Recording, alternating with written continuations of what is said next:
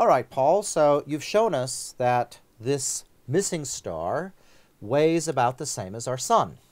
Yes, we've got something dark going around opposite in the orbit, and it's pretty heavy. And our sun is pretty bright, so at the distance of Sirius, which is less than 10 light years, the sun would be actually easily visible with our naked eye. So where is it? So we need something with the weight of the sun, Yep. but much fainter.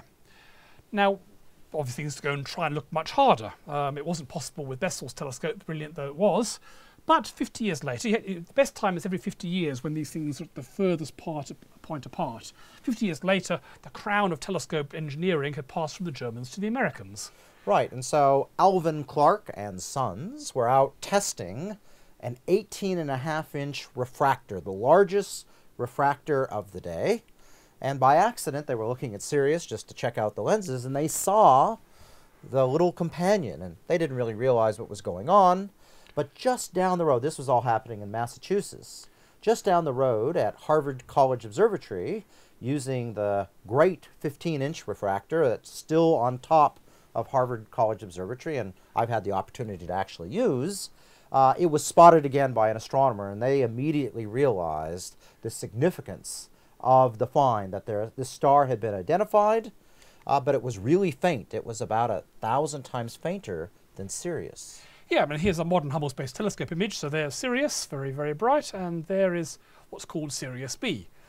So this thing that weighs the mass of the Sun is a thousand times fainter. So this is about two solar masses. That's about one solar mass, a factor of about two in mass, but a factor of a thousand in brightness. And you know, one of the I- ironic things here in the story is, is that these little things you see here is part of an Airy function that describes diffraction, and we mathematically write those down as Bessel functions. So Bessel came back in a way that probably he didn't expect.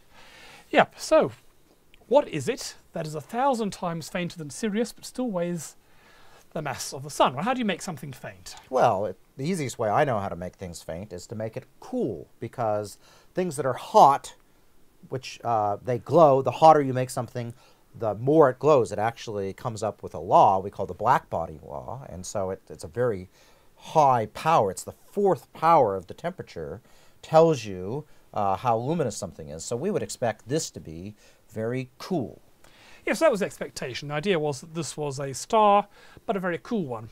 Probably not that different in size from Sirius physical size, Yep. but much cooler. You have to bear in mind, it looks like the star's about this big. That's not really the size of it. It's actually far smaller than a pixel, as is this one. All this is just spreading out due to the immense amount of light.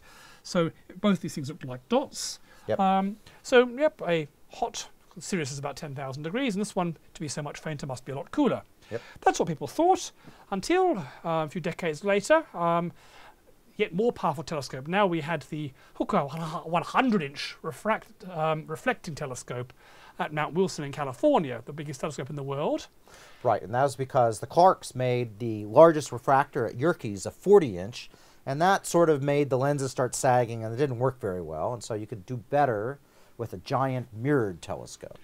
And they um, measure the spectrum of Sirius B, this little thing. This, this image is not quite to scale. Actually, both these things would be much smaller relative to their separation. And, it takes 50 years to do this, so it's a a little easier to catch than Yes. it looks like on this diagram. Um, but when you look at it, the spectrum, they found that in fact, far from being cool, it was hot. In fact, hotter than Sirius A.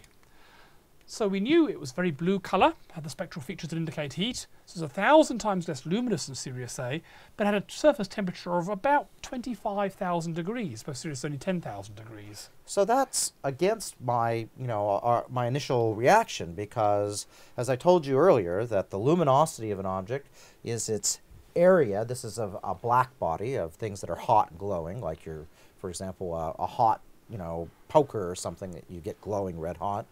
Is the area, so 4 pi r squared, the surface area of the sphere, times the Stefan Boltzmann constant times the temperature to the fourth power. And so that would mean that the area would have to be tiny in order to make this thing a thousand times less luminous. It seems impossible. I mean, this would have to be so small, given it's so hot. Yeah. Every square metre of the surface would huge amounts of power. So to be as faint as it is, it'd have to be absolutely microscopic. In fact, let's go and work out how small it would have to be.